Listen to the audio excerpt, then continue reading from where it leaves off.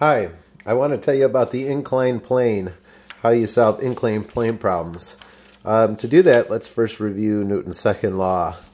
Um, well, actually, how to solve a Newton's second law problem, just in general.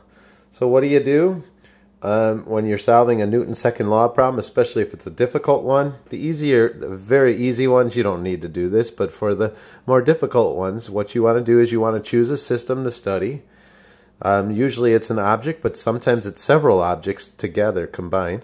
Then you um, draw all the forces that are on the object, only the forces on the object. You don't draw the forces that the that this or that are on your system. Um, you don't draw just all the forces you can find, but just the forces that are on your system. This is called a free body diagram. Number two is you draw a free body diagram. Number three, um, you choose a coordinate system, an xy coordinate system, with one of the axes in the direction of acceleration. So if if the thing is accelerating, you should make one of the axes in the direction of the acceleration. Then you um, set up a Newton's second law in both directions. And what I mean by that is you um, you use Newton's second law, which is A of the system in the x direction is equal to the net force in the x direction over the mass.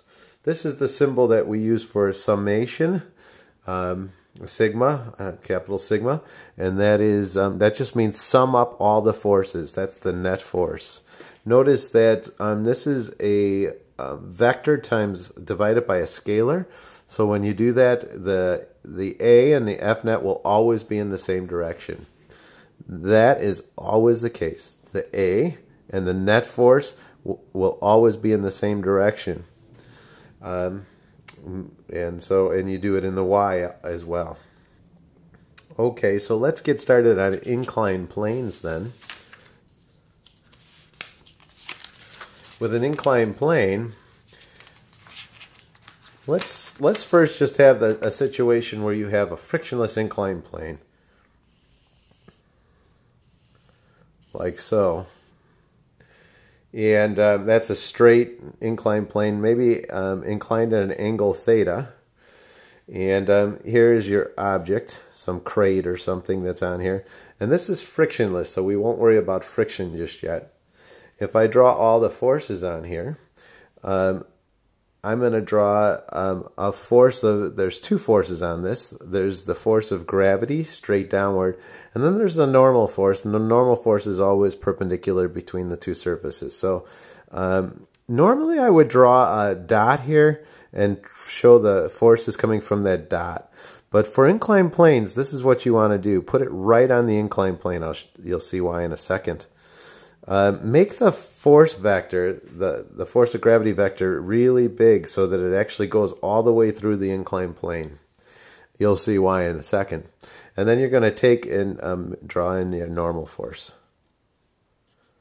See how that's normal to the plane? That's Fn.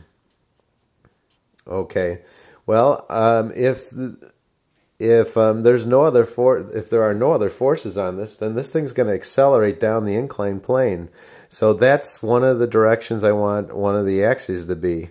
So I'd like it to be. I'm going to call this the x direction, and then the y direction has to be perpendicular to that. So this is the y direction. I'm going to make the um, x direction this way is positive because that's the way it's accelerating. All right. Um, now, what I need to do is I need to break all the forces into into um, x and y directions. So the normal force is all in the y direction, but the gravitational force um, is both in the x and the y. So I'm going to break it into an x and a y. See how that's in the x? That's in the x direction. See the x direction? And this is in the y direction. Okay, so um, if that's theta, then and that's a right angle, then this is 90 minus theta. And then this is a right angle. So this is back to theta. See how I leapfrog there? That's so much easier because I put the dot right there and not up a little higher. And also because I, I drew this arrow all the way through, you, I could make the I could make the argument that that's 90 degrees, so that's 90 minus theta, so that's theta. Okay, since this is theta and and the hypotenuse, these are right angles. This is the hypotenuse is force of gravity. Then um, this, let's call this box M. So the force of gravity is mg. And this being the opposite side, that's going to be mg sine of theta. And this being the adjacent side, that's going to be mg cosine of theta.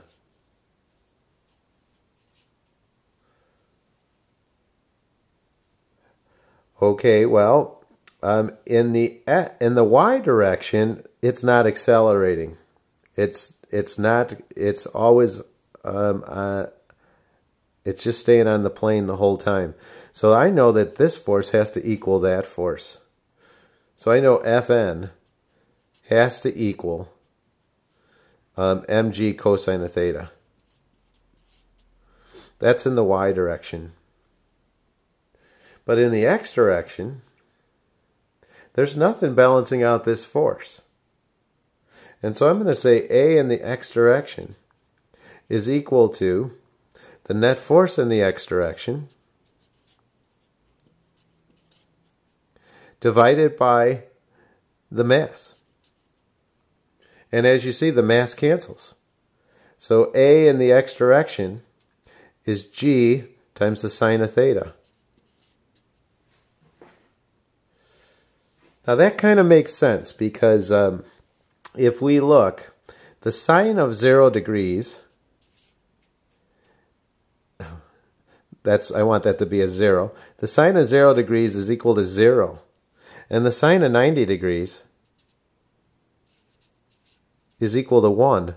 So look at the two extreme cases for this for this equation.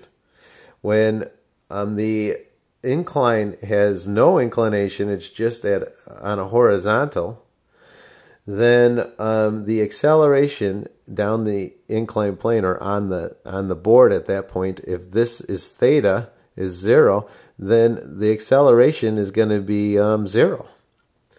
So when theta is zero, we get an acceleration of zero. But when theta is 90 degrees, then that would be like just picking that board all the way up to the top. And that block is basically going to be in free fall because it's just going to fall straight down. There's going to be nothing pressing it against the board.